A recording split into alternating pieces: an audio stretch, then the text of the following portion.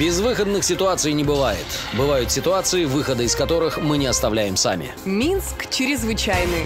Здравия желаю. В эфире Минск чрезвычайный. В студии Андрей Макаров. Статистика в лицах и цифрах. Минск чрезвычайный. Оперативная информация за неделю. Столице на пожары ЧС спасатели с начала года совершили уже около 1700 выездов. На пожарах погибли 5 человек, 26 из которых один ребенок пострадали. Из опасных зон работниками МЧС были спасены и эвакуированы чуть более 600 человек. О том, какой была ушедшая неделя для столичных спасателей, прямо сейчас. Минск чрезвычайный. Минувший понедельник около полуночи спасатели вызволяли кота, застрявшего в радиаторе отопления квартиры на улице Холмогорской. Кот спал на подоконнике и во сне свалился, да так неудачно, что подушечка передней лапы попала в узкую щель между секциями радиатора. Когда спасатели приехали на место вызова, животное истошно мяукало и кусалось. В течение 40 минут работники МЧС подручными средствами пытались вытащить поврежденную лапу усатого из батареи. В результате неимоверных усилий им это удалось. Хочу напомнить, что спасение животных не входит в обязанности работников МЧС. У спасателей есть приоритетность вызовов, и в первую очередь они выезжают на те случаи, где существует угроза безопасности и жизни человека. Непогода, которая царила во вторник в республике, привела к возникновению ряда ЧП. Два дерева упали и в Минске, причем одно из них на автомобиль.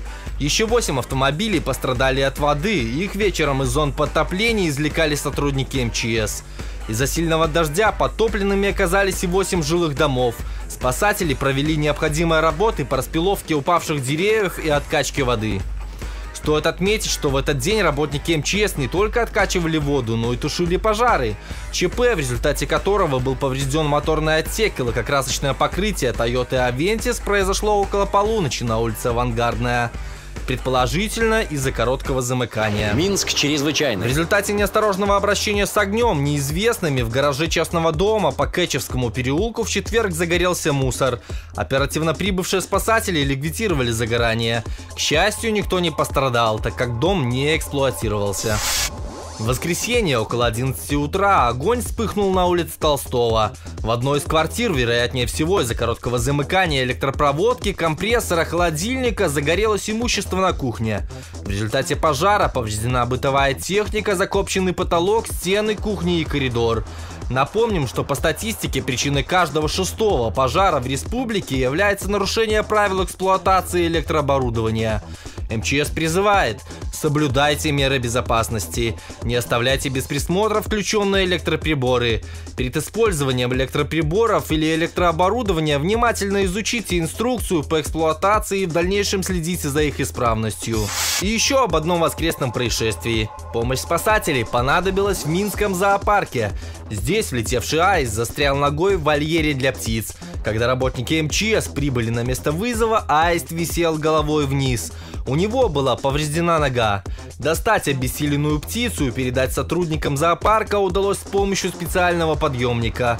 Орнитологи очень бережно приняли аиста, закутали в одеяло и сразу же отправились оказывать ему ветеринарную помощь. Минск чрезвычайный. С начала недели в столице установилась по-настоящему летняя погода. Всю неделю в Минске будет очень жарко, а это значит, что люди будут спасаться в воде, жертвами которой только за минувшую неделю в республике стали 15 человек, из них двое несовершеннолетних.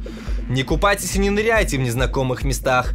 Откажитесь от водных процедур в нетрезвом виде. Около 80% утонувших находились в состоянии алкогольного опьянения.